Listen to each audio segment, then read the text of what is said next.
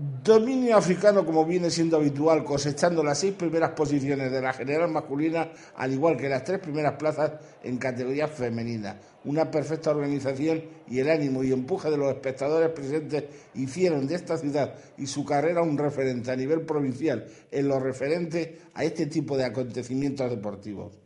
Vicenta Lozano, manzanareña de 61 años, fue la atleta más veterana entre las locales, una señora enamorada del deporte, hace deporte diariamente, se siente bien haciendo deporte. Vicenta lanzó un mensaje claro que todo el mundo apostara por el deporte, por el deporte para sentirse mejor, sin importarle la edad, solo debe importarle sentirse bien. Pues yo que hago mucho deporte y entonces uno de los, de los hobbies es eso, correr a pie. Y para, yo estaba entrenando pues por mantenerme, pero mi marido me ha animado a salir en la carrera y es la primera vez que salgo, pero me ha gustado, está muy bien. Pues yo le diría que no seas tontas, que se animen, que hagan alguna clase de deporte, sea el que sea, que es muy bueno.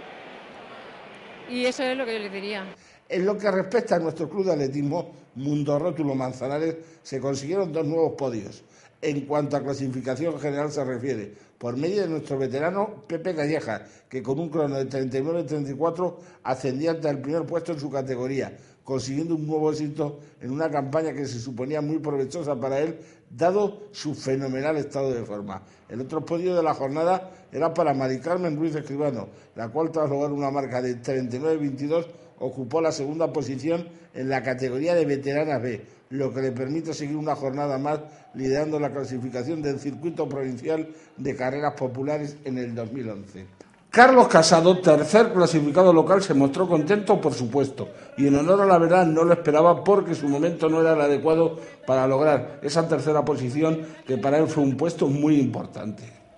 Pues la carrera, bueno, personalmente para mí una pena porque bueno, no me he sentido de todo bien, he tenido un flato ahí en la primera vuelta, porque la verdad que una carrera súper rápida para bajar marca y bueno, pues nada, pues esa carrera pasan y me ha pasado mi factura, pues he salido muy muy fuerte al principio. Pero vamos, eh, la carrera en sí, pues te digo, un lujo correr en el pueblo y sobre todo pues el circuito muy bueno. Y nada, pues muy contento por la tipitización y sobre todo pues al final del día que se han mejorado para, para por lo menos que se haga un día perfecto de atletismo y oye que la gente pueda disfrutarlo, porque con lluvia quizás toda la gente que se ha dado cita para verlo pues no hubiera, no hubiera sido lo mismo. Así que nada, contento, en dentro que cabe. Jesús López debutante del Club de Atletismo de nuestra ciudad, conseguía un gran tiempo de 37-20, ocupando la decimoprimera en veteranos después de realizar una gran carrera y antecedía en la línea de meta al incombustible Santos Ruiz, que nos dio una gran alegría volver a codearse nuevamente con los mejores, después de un rosario de interminables lesiones que parece que se le han quedado atrás marcó 37-46 en meta y ocupó una merecidísima sexta posición en veteranos. Blas Sánchez, eh, Carnerero, José Antonio Bretón, Ramón Fierre hicieron prácticamente juntos toda la carrera y juntos entraron en el meta en la franja de los 38 minutos, demostrándose que se encuentran en una muy buena forma y que son atletas a tener en cuenta en próximos compromisos. Blas se quedó a un paso de acceder al podio en su categoría, al acabar cuarto, mientras José Antonio y Ramón eran